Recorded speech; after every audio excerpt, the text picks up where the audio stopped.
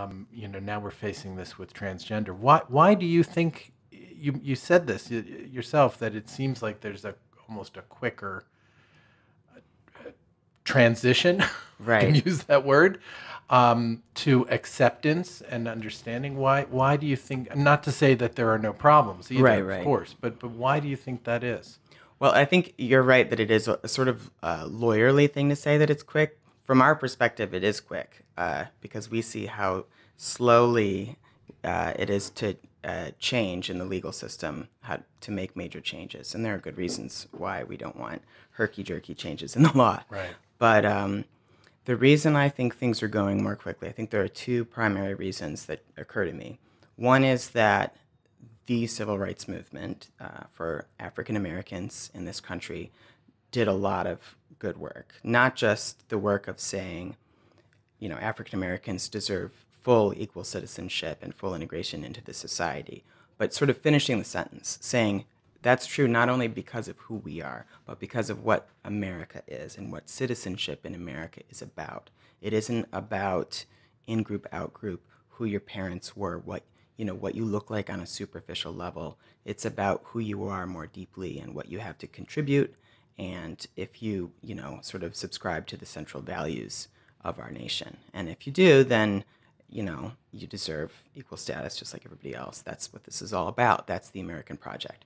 And so, number one, I would say the work of the civil rights movement just created a, a cultural background against which we could move more quickly. And that's something I, I hope people are very grateful for because a lot of sacrifices were made for that. And then the other reason is uh, actually they're a huge setback. At the very beginning of the gay rights movement, when there were a few little footholds where a few people could be maybe be out at work, or maybe if they didn't talk about it, everybody could know and it would be okay and they could have their lives at night on, and on the weekends. And if somebody saw them in the village, they weren't necessarily going to report them to the boss. At that exact moment, when that was the only little foothold we had, AIDS came along.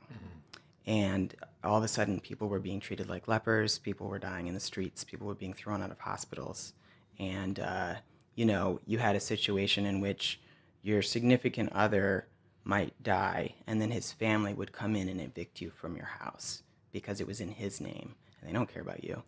So horrible things were happening all of a sudden. And I think the things that were happening to our community were so bad that they shocked the conscience of a lot of Americans. And at the same time, the crisis was so deep that we had nothing to do except like unite because it was an existential crisis. People were just dying.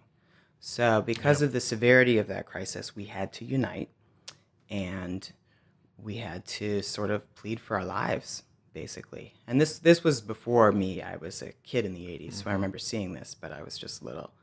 Um, but the work that was done by ACT UP and by a lot of other organizations at that time uh, made a huge difference.